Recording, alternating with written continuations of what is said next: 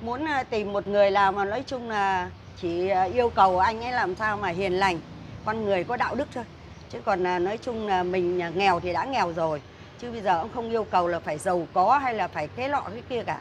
Dạ. không có nhà nhà trọ cũng được nhưng miễn làm sao là phải thương yêu nhau mà phải hiền lành. Đấy, con người là phải chân chất thân phải là thân thiện và hai nữa là thật thà.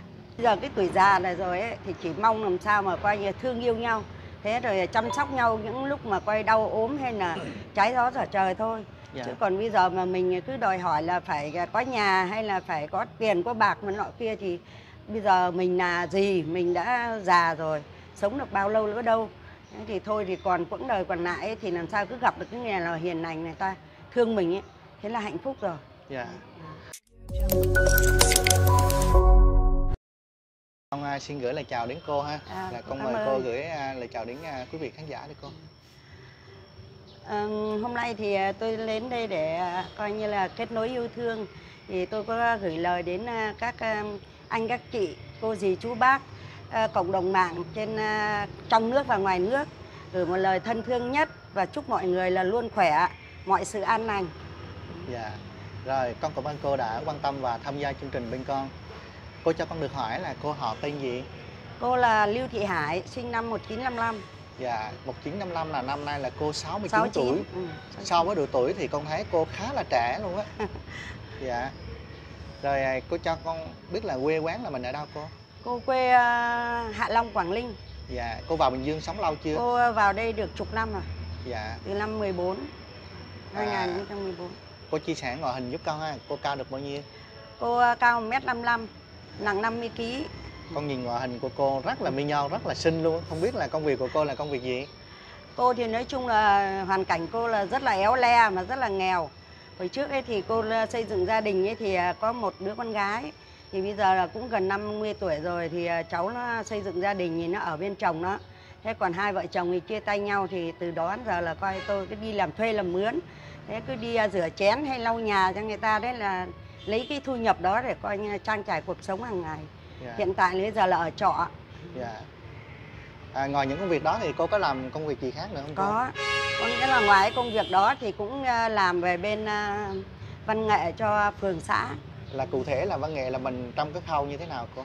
Cô ờ, dạy múa, Wow, con đoán ngay mà. Ừ. Con thấy nhìn vóc dáng của cô là con nghĩ là cô phải một người là ví dụ như là khiêu vũ hay là tập yoga hay là dưỡng sinh như thế nào đó. À, cô, Cô, ờ, cô dạy dạy múa múa. là lâu chưa cô? cô ờ, nói chung hồi trước đi bộ đội ấy, thì là cũng ờ, được ờ, học ở trong ờ, bộ đội ấy được mấy tháng. Dạ. Thế rồi là đến khi hết bộ đội ra ấy, thì về địa phương thì cũng là đi tham gia văn nghệ cho phường xã ở địa phương. Thế đến khi bây giờ vô đây ấy, thì lại cũng lại tham gia ở đây. Dạ. À, vậy là ở trong này là cô cũng thường thường là đi tham gia những vấn đề mà văn nghệ con ca hát múa này cô ha. Nói chung là đi suốt. Dạ.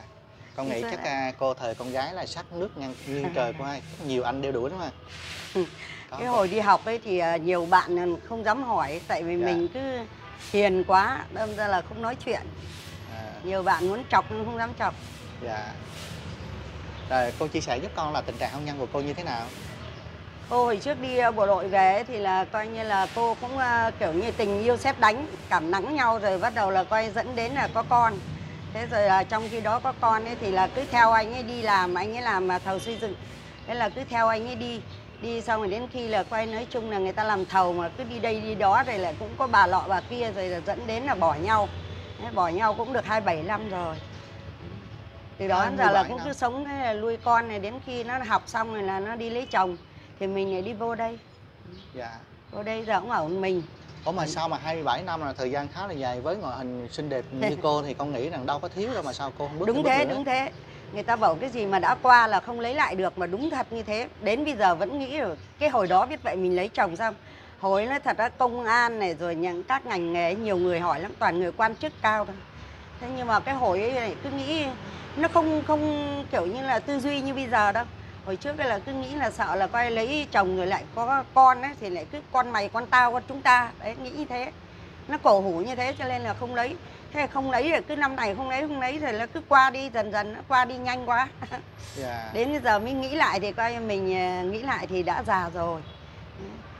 Bây với giờ thì cũng thấy, ờ, muốn ờ, tìm một người nào mà nói chung là chỉ yêu cầu anh ấy làm sao mà hiền lành con người có đạo đức thôi chứ còn là nói chung là mình à, nghèo thì đã nghèo rồi chứ bây giờ ông không yêu cầu là phải giàu có hay là phải cái lọ cái kia cả Dạ. không có nhà nhà trọ cũng được nhưng miễn làm sao là phải thương yêu nhau mà phải hiền lành Đấy, con người là phải à, chân chất thân phải là thân thiện và hai nữa là thật thà Đấy.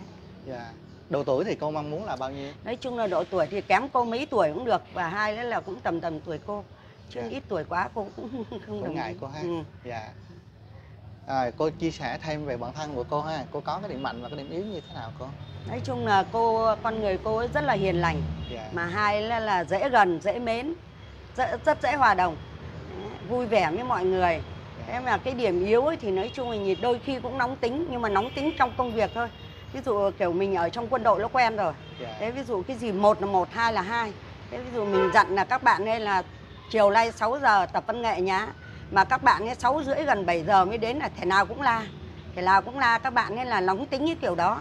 Thế còn ngoài ra thì à, rất là hiền lành. Nói chung là phải nói câu là dễ thương. Dạ. Ai cũng thương hết ấy. dạ. Tại hiền lành dễ gần.